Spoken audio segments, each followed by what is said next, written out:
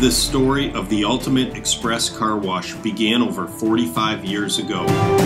My grandfather and his brother built their first car wash in 1969. Who would have known that over four decades later, three generations of our family would be helping build car washes all over the world? But this is what happens when you commit to the core philosophy of constant and never ending improvement.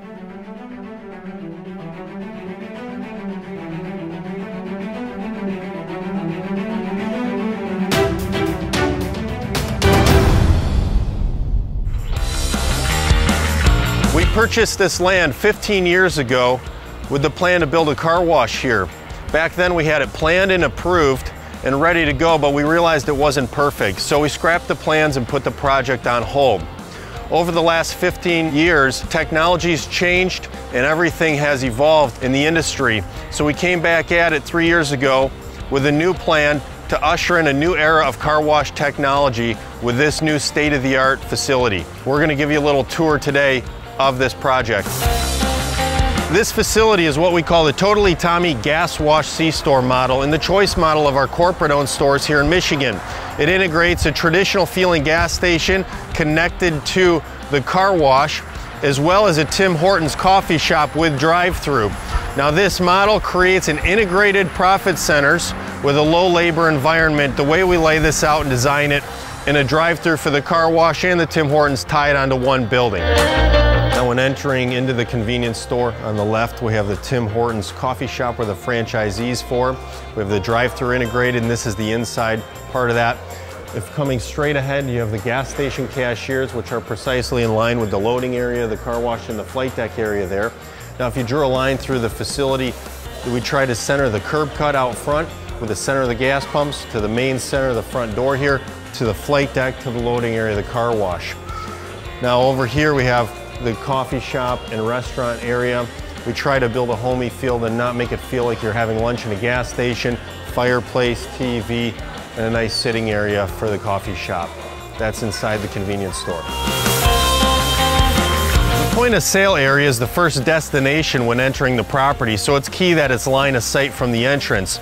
Behind me, you'll see the new Tommy Pay Station canopy and the fascia with the channel letters spelling out the lane options. Now, something unique here is we offer three lanes, all working together. The first lane being a cashier with a manned cashier window, the middle lane being an auto teller, which we direct cash or credit customers to, and the outside lane, the Unlimited Club Speed Pass lane for club members to bypass the line. Now this payment system is highly visible with the tower and the tower creates the iconic look to draw people in to that point of sale destination area. And you'll see also the finishing detail of the towers, the standard of the Tommy facility, what we call sometimes the dealership theme. It's an architectural metal panel with a split face block knee wall and the corrugated metal band. All three lanes are gated and whichever transaction finishes first, the gate opens and the customer can proceed into the queue. Now here we are inside the pay station tower. This is where all three lanes are managed from at the cashier window. We can process transactions, take coupons, do special promotions, and answer questions. On the screens up here, we monitor lane two and three of what's going on on those auto tellers. On the right, stack control to monitor the queue, and the cameras down here to monitor everything going on around the facility. We also do club member administration back here, and this is usually a two-person task back here at the window. We come out of the point of sale system making a left-hand turn toward the car wash tunnel. And we like to have a minimum of five cars in the queue here. That gives people enough time to get situated and prepare for loading so we can keep them real tight when they get in. We also come in downhill into the car wash tunnel. This allows the customer to ride the brake and creates a safer and faster loading process. The secret to an outstanding car wash in high volume is processing. Now the number one tool we have to process vehicles fast is what we call the Tommy Transporter Belt Conveyor Moving Floor System. Now the beauty of this is cars never have to stop moving. We want to get them in as tight as we can, as fast as we can. To hit a peak hour, we'll put a loader out here to bring them in tighter, but the car doesn't have to wait for a roller to pop up, so as soon as they hit the belt, they go. We also reduce missed cars because we don't have customers turning the wheel, jumping a roller, things like that. On the belt, it doesn't matter. They can turn the wheel, hit the brake, or even put the car in park with limited issues. So we load them in fast, we get them on here smooth, and the less customer intimidation, people are fearful of trying to line up, getting scratched wheels by the old chain and roller conveyors. So this is the solution, the Tommy Transporter belt, to getting high throughput. Now, we've been open 86 days. We just passed 100,000 cars washed total.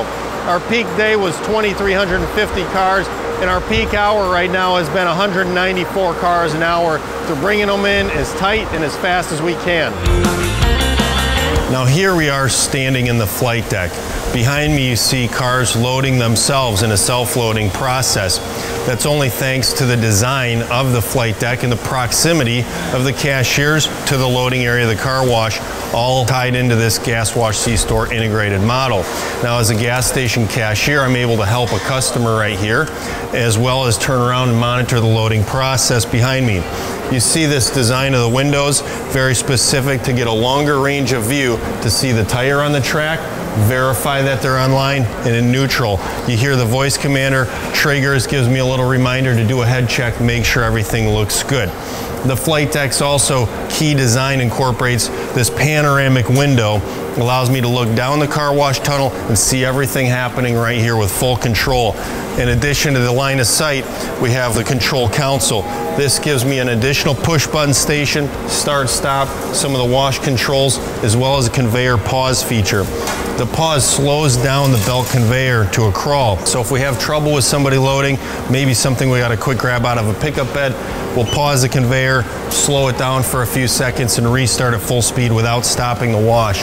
These two touchscreens give us an auxiliary controller here, and this is the management application which controls a daily checklist and a cloud software program we put together. Daily checklist, totals, chemical levels, and cost per car reading that we can get right here on the management application, giving us full control of this facility. The most unique thing you'll see behind me is the 32 foot wide car wash bay. Now this creates a wide open spacious environment for the customer as well as for the staff to manage and maintain the car wash. Now also when it comes to the equipment, we've completely overhauled the innovation with getting rid of the old big back rooms. We used to have a 100 foot long back room plus with pipes going this way and that way. Well today, the chemical pod houses most of that stuff in just nine feet of space. All the chemical functions and the chemicals themselves plumbed in from the bottom with the pod chaseway and out overhead through the ladder rack system you see behind me. Now we designed this ladder rack bracket to hold all the chemical lines on bottom, hydraulics on top. When they go out to the bay, they connect all the arches together and make one bend and no lines ever have to crisscross. Now the second pod down the tunnel is what we call the maintenance pod.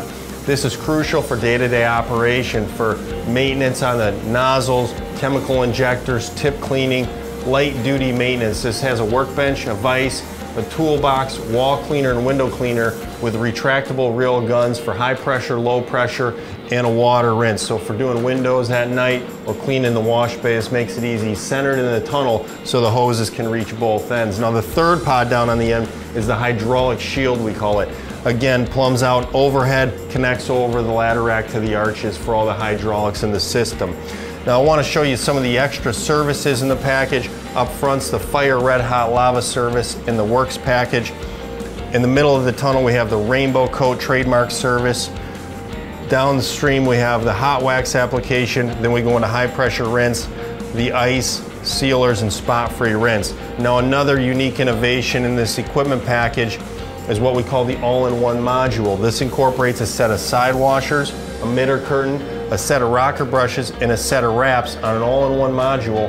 And then we have two of those modules. That creates a standardization and consistency with a lot of interchangeable parts. So it's very simple, foamers on board. It's an awesome, unique product. Now we're gonna take a walk out in the wash bay. I wanna point out a couple things to notice. Take note of the epoxy floor and the rolled edge in the corners, which makes it easy to clean. We also made a very narrow ledge underneath the windows for easy cleaning and to reduce any ledge for water to sit on. The window frame is a very specific uh, design with a frame on the outside of the window and a minimal, almost non-existent frame on the inside of the window, making it very easy to clean and again, avoiding the ledge. Now there's an acrylic roof system over the car wash, making it bright inside the wash bay and LED lighting to accompany that. Then we're gonna go into the dry back room at the end. Now, new technology today is much smaller, so you're gonna see the whole back room very open and spacious, but it's only 30 feet long based on this new technology. At the end of the room is an electrical area that has the VFD panel and the controller and the sub panels consolidated at the end of the room in a dry environment. Then in the middle of the room we have the RO system for filtered water.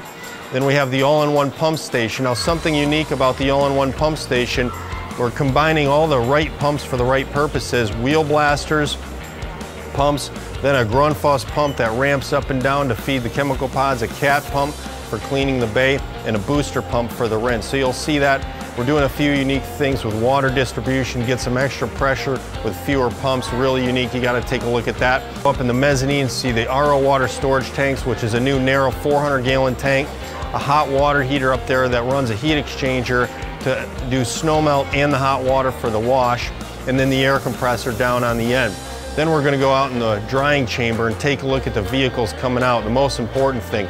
Now we're running 180 to 200 car per hour chain speed. We're getting some of the driest and best vehicles I've ever seen. We got 16 10 horsepower blower producers.